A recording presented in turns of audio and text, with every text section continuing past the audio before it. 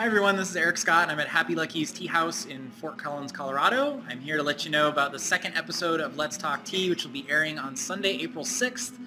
Um, our guest will be Jason Cohen, the founder of the Penn State Tea Institute.